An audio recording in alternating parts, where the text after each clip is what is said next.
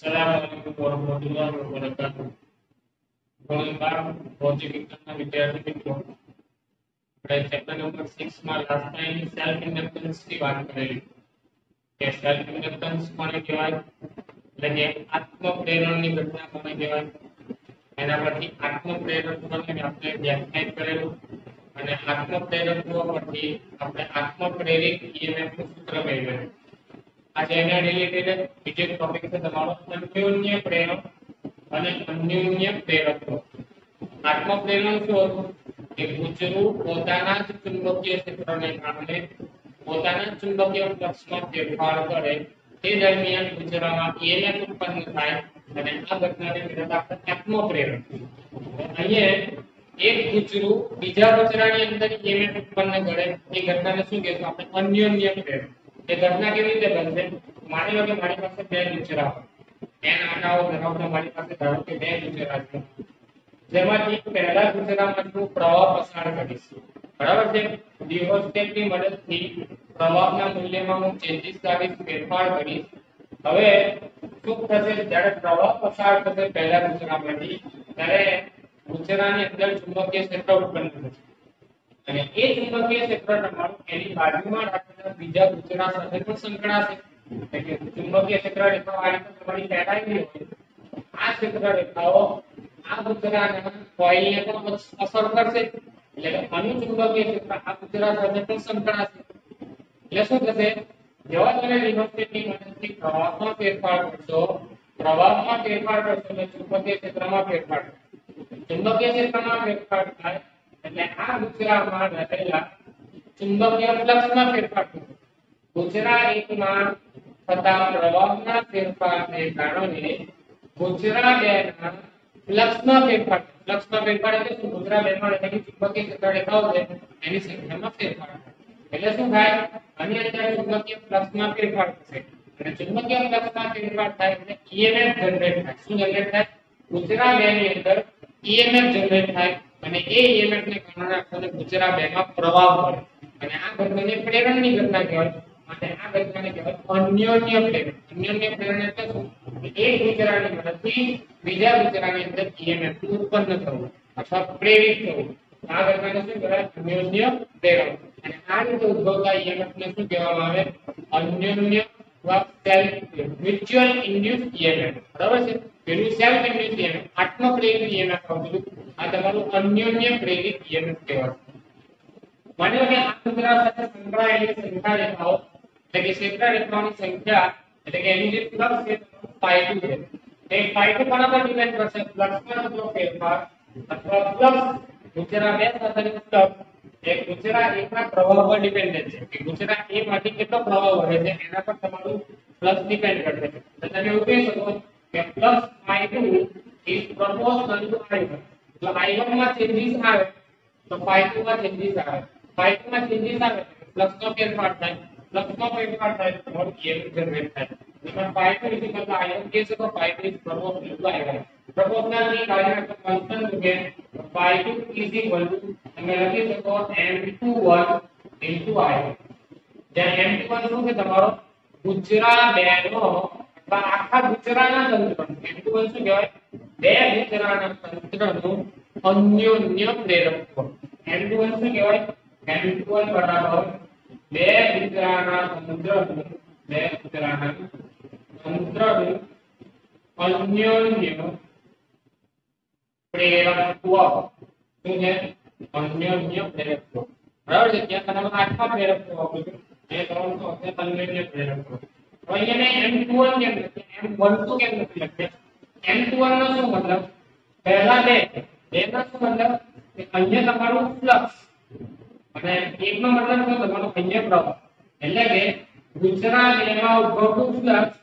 ગુજરાત એકના પ્રવાહને કારણે એટલે માટે અહીંયા M21 લખાશે M12 હોય તો એનો શું મતલબ M12 લખવું એનો મતલબ શું થાય ગુજરાત એકમાં ઉદ્ભવતું ફ્લક્સ ગુજરાત બેના પ્રવાહને કારણે બરાબર છે એ પ્રમાણે તમારે જે સિમ્બોલ લખવાનું છે phi2 is equal to m21 into i1 આ તમારું એક સૂત્ર બની ગયું ઓકે જે તમારા સેલ્ફ મ્યુચ્યુઅલ ઇન્ડક્ટન્સ એટલે કે અન્યોન્ય પ્રેરકત્વના માટેનું સૂત્ર હવે હવે આપણે વિકલન કરીએ આપણે ઈએમએફ શોધવું છે અન્યન્ય પ્રેરકને કારણે મળતા ઈએમએફ નું સૂત્ર તારવો તમને અન્યન્ય પ્રેરણની ઘટનાને કારણે ઈએમએફ નું સૂત્ર તારવવાનું છે ઈએમએફ માટે આપણે શું કરીશું સમીકરણનું બંને બાજુ ટી સમય સમીકરણનું બંને બાજુ ટી ની સાપેક્ષે વિકલન કરતા ટી ની સાપેક્ષે વિકલન કરતા તો બંને તરફ આપણે ટી ની સાપેક્ષે વિકલન કરીએ y2 નું વિકલન થશે d y2 ના છેદમાં t બરાબર છે m21 ના તમારા કોન્સ્ટન્ટ છે સમીકરણ થશે b i1 ના છેદમાં d બરાબર છે બંને બાજુ માઇનસ નિશાની બધું મૂકી દો બરાબર છે ફ્લક્સ ના સતત ફેરફાર એટલે શું કહેવાય emf બરાબર છે ફેરાડેના નિયમ અનુસાર તો emf minus m21 b i1 ના છેદમાં t આ તમારું અન્યોન્ય પ્રેરિત emf નું સૂત્ર છે આનું સૂત્ર છે તમારું અન્યોન્ય પ્રેરિત EMF અન્યોન્ય પ્રેરિત EMF નું સૂત્ર આ સૂત્ર કોનું છે તમારું અન્યોન્ય પ્રેરિત EMF ઓકે તમને ઘટનાની ખબર પડી અન્યોન્ય પ્રેરણાની ઘટના કોને કહેવાય કે ગુજરાત માટે પ્રવાહ પસાર કરો એની સાથે ચુંબકીય ક્ષેત્ર સંકળાયેલો હોય એ ચુંબકીય ક્ષેત્રની સંકળાયેલ ગુજરાતી સાથે પણ સંકળાયેલો હોય એટલે જેવા પ્રવાહના મૂલ્યમાં તમે ફેરફાર કરશો એની સાથે ગુજરાત સાથે સંકળાયેલા ચુંબકીય ફ્લક્સમાં પણ ફેરફાર થાય એટલે કે ચુંબકીય ફ્લક્સ ગુજરાત એનો વિરોધી ચુંબકીય ફ્લક્સ ગુજરાત એકના પ્રવાહ પર આધારિત છે એટલે phi2 is proportional to i1 constant મૂકીને તમે અન્યોન્ય પ્રેરકત્વની ઘટનાને સમજાવી છે હવે આપણે વાત કરીએ અન્યોન્ય પ્રેરકત્વની વ્યાખ્યા જે રીતે ત્યાં આપણે સેલ્ફ ઇન્ડક્ટન્સની વ્યાખ્યા આપેલી એ રીતે અહીંયા આપણે મ્યુચ્યુઅલ ઇન્ડક્ટન્સની વ્યાખ્યા આપીશું આપણી પાસે બે સૂત્ર છે y2 is equal to m21 into i1 આના પરથી m21 ને કરતા બતાવશું શું થશે y2 ના છેદમાં i1 ચાલો આના પરથી ડેફિનેશન આપણે એટલું શું આપી શકાય કે બે વિચારના તંત્રમાં કોઈ એક વિચારમાંથી વહેતો પ્રવાહ એક એકમ હોય તો તે પ્રવાહ દ્વારા બીજા કચરામાં ઉદ્ભવતા ફ્લક્સના મૂલ્યને તે બે વિચારના તંત્રનું અન્યોન્ય પ્રેરકત્વ કહેવામાં આવે છે બરાબર છે સમજ પડે ડેફિનેશનમાં બે વિચારના તંત્રમાં બે વિચારના તંત્રમાં કોઈ એક ગુજરાતમાંથી વહેતો વિદ્યુત પ્રવાહ એક એકમ હોય વિદ્યુત પ્રવાહ એક એકમ હોય ત્યારે બીજા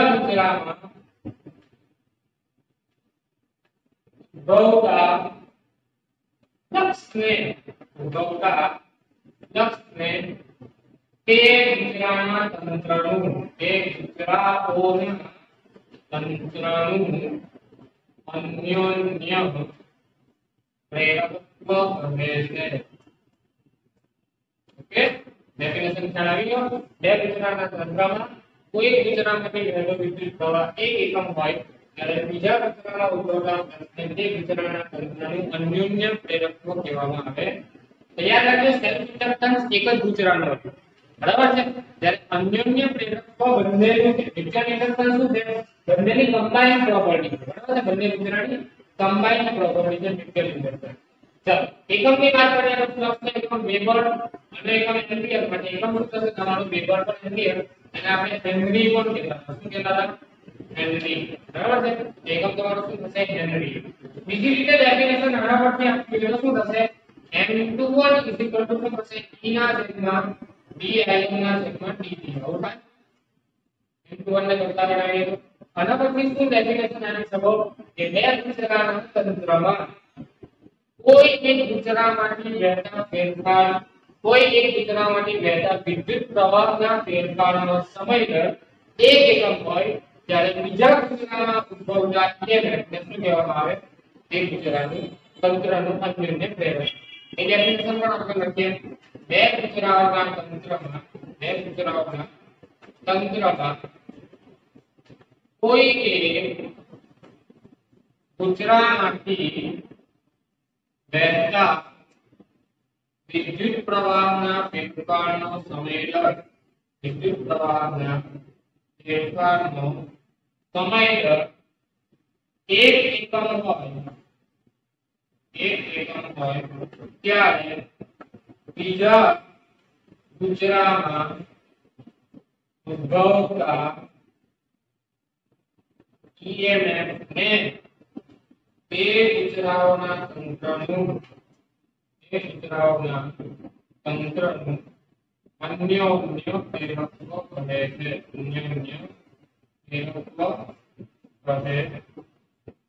ઓકે બંને ડેફિનેશન તમે આપી શકો અહીંયા પણ તમારો એક શું થશે વોલ ઇન્ટુ સેકન્ડ પર એમ્પિયર બરાબર છે અને આને પણ આપણે શું કહેતા હતા હેનરી બરાબર છે જે આપણે અગાઉના વિડિયો લેક્ચરમાં જોયું તે અહીંયા પણ હેનરી આપો બરાબર આ કમેન્ટ્સમાં પણ જે છે અન્યોન્ય પ્રેરક અને અન્યોન્ય પ્રેરકત્વ તો આપણે સોલેનોઇડ માટે વાત કોના માટે સોલેનોઇડ માટે કે સોલેનોઇડ માટે શું ઘટના બનશે સોલેનોઇડ માટે અન્યોન્ય પ્રેરકત્વનું શું થશે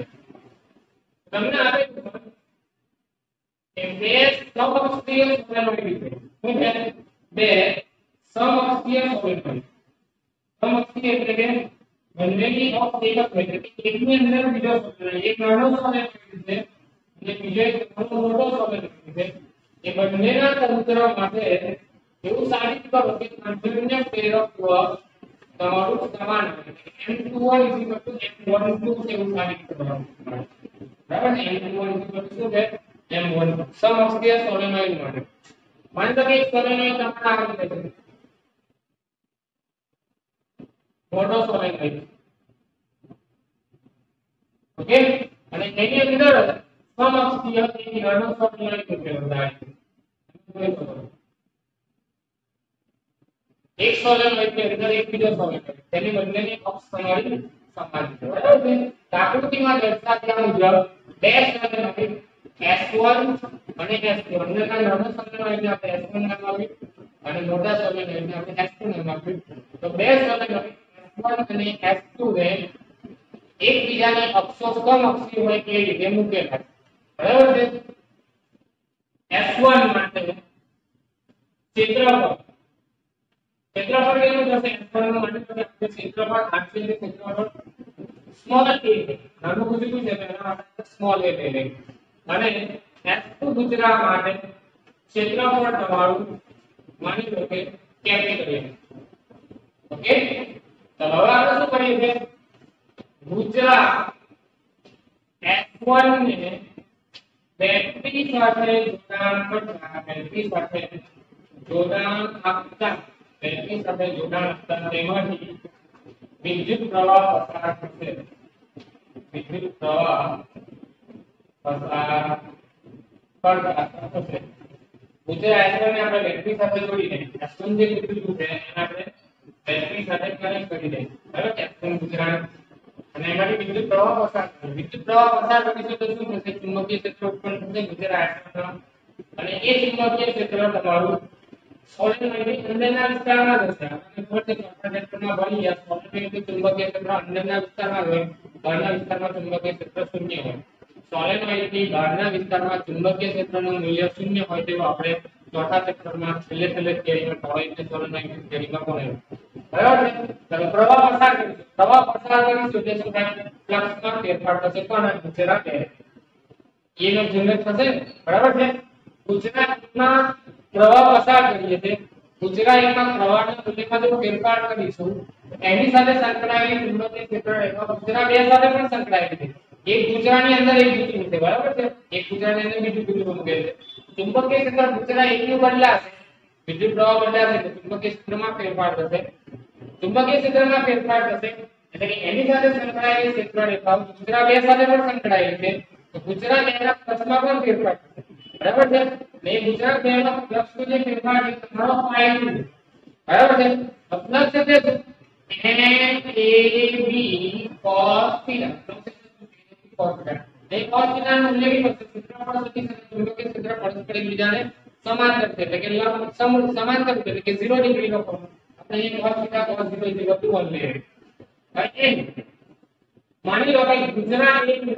તમારો કોણ છે પ્લસ કોણ બીજા ગુજરાત બીજા ગુજરાત માટે આંતરિક સંખ્યા કઈ તમારી